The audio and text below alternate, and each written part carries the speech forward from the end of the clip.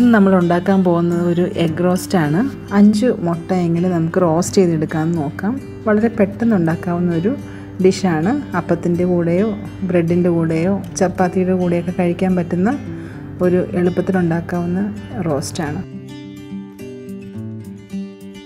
അതിനുവേണ്ടി നമുക്ക് അഞ്ച് മുട്ട പുഴുങ്ങിയെടുക്കാം. കുക്കറിലേക്ക് പെട്ടെന്ന് പുഴുങ്ങിയെടുക്കാൻ വേണ്ടിയിട്ട് നമുക്ക് കുക്കറിൽ പുഴുങ്ങാം. കുക്കറിൽ മുട്ട അഞ്ചെണ്ണം വെച്ചതിന് ശേഷം വെള്ളം ഒഴിക്കുക. കുറച്ച് ഉപ്പ് അതിനകത്തേക്ക് ഇട്ടിട്ട് നമുക്ക് മുട്ട മുങ്ങിക്കിടക്കാൻ പാകത്തിന് വെള്ളം ഒഴിക്കണം. എന്നിട്ട് കുക്കർ അടച്ചു വെച്ച് ഒരു വിസിൽ വരുന്നവരെ വെയിറ്റ് ചെയ്യുക. ജസ്റ്റ് ഒരു വിസിൽ വന്നാൽ മതി. എന്നിട്ട് നമ്മൾ ആ വിസിൽ പോകുന്നവരെ അതിന്റെ പ്രഷർ പോകുന്നവരെ വെയിറ്റ് ചെയ്യണം.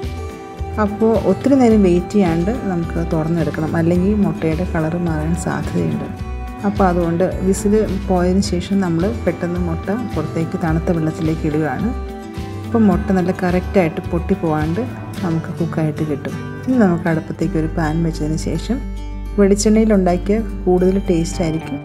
വെജിറ്റബിൾ ഓയിലിലാണെങ്കിലും കുഴപ്പമില്ല.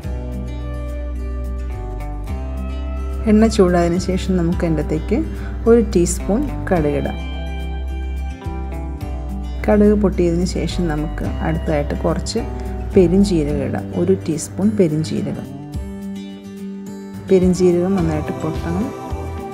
പിന്നെ നമ്മൾ അരിഞ്ഞു വെച്ചിരിക്കുന്ന ഇഞ്ചി ഒരു ടീസ്പൂൺ ആഡ് ചെയ്യാം. പിന്നെ വെളുത്തുള്ളി ഒരു ടീസ്പൂൺ ആഡ് ചെയ്തതിന് ശേഷം നന്നായിട്ട് ഇളക്കാം. പച്ചമുളക് എരിവിനനുസരിച്ച് എടുക്കാം. ഞാനിവിടെ രണ്ട് പച്ചമുളകാണ് എടുത്തേക്കുന്നത്. പിന്നെ കറിവേപ്പിലയും ഇട്ടിട്ട് നന്നായിട്ട് ഒന്ന് വഴറ്റിയെടുക്കാം.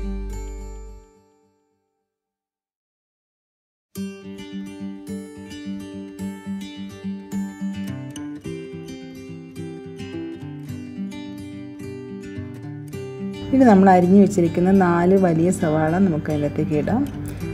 അത് മുട്ടയുടെ എണ്ണ അനുസരിച്ച് സവാള നമുക്ക് കൂട്ടുകയോ കുറയ്ക്കുകയോ ചെയ്യാം. ഇച്ചിരി ഉപ്പും കൂടെ ഇട്ട് കഴിഞ്ഞാൽ പെട്ടെന്ന് അത് വഴറ്റിയെടുക്കാൻ പറ്റും.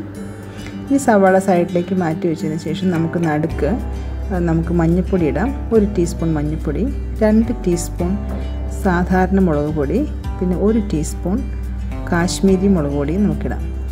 പിന്നെ മല്ലിപ്പൊടി ഒരു ടീസ്പൂൺ ഇടാം. ഗരം മസാല ഒരു ടീസ്പൂൺ പിന്നെ കുരുമുളക് പൊടി ഒരു ടീസ്പൂൺ. ഇതെല്ലാം കൂടെ അതിന്റെ ആ പച്ച ഇത് മണം മാറാൻ വേണ്ടിയിട്ട് നമുക്ക് ഒന്ന് നന്നായിട്ട് ഇളക്കി കൊടുക്കാം. അതിന്റെ നന്നായിട്ട് ഇളക്കി അതിന്റെ പച്ച മസാലയൊക്കെ നന്നായിട്ട് ചൂടായിട്ടുണ്ട്. ഇനി നമുക്ക് ഒരു വലിയ തക്കാളി അരിഞ്ഞ് വെച്ചിരിക്കുന്ന അതിനകത്തേക്ക് ഇട്ട് കൊടുക്കാം. കുറച്ച് വെള്ളം കൂടി ഒഴിച്ചിട്ട് നമുക്കൊരു അഞ്ച് മിനിറ്റ് ഒന്ന് ഇളക്കിയതിന് ശേഷം ഒരു അഞ്ച് മിനിറ്റ് അടച്ചു വെച്ചാൽ തക്കാളി നന്നായിട്ടൊന്ന് വെന്ത് കിട്ടും. നമുക്കൊന്ന് അടച്ചു വെച്ച് വേവിക്കാം. ഇപ്പോൾ ഏകദേശം അഞ്ച് മിനിറ്റിന് ശേഷം തക്കാളി വെന്തിട്ടുണ്ട്. നമുക്കൊന്ന് ഇളക്കി കൊടുക്കാം. വേവാത്ത ഇതെല്ലാം നന്നായിട്ട് മിക്സ് ചെയ്തോളും. എത്രയും നന്നായിട്ട് വഴറ്റുന്നോ അത്രയും കൂടുതൽ ടേസ്റ്റ് ഉണ്ടാവും. നമുക്ക് പുഴുങ്ങി വെച്ചിരിക്കുന്ന മുട്ട അതിന്റെ ഇടാം. പിന്നെ മുട്ട ജസ്റ്റ് മുട്ടയുടെ മേളിലൊന്ന് കട്ട് ചെയ്തിട്ട് വേണം ഇടാനായിട്ട് മസാല അതിന്റെ അകത്തോട്ട് പിടിക്കാനായിട്ട്.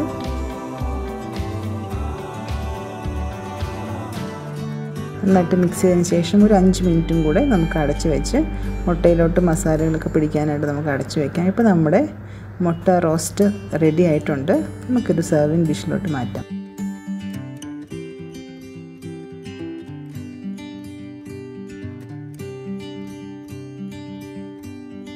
വളരെ പെട്ടത്ത് പെട്ടെന്ന് നമുക്ക് ഉണ്ടാക്കാം.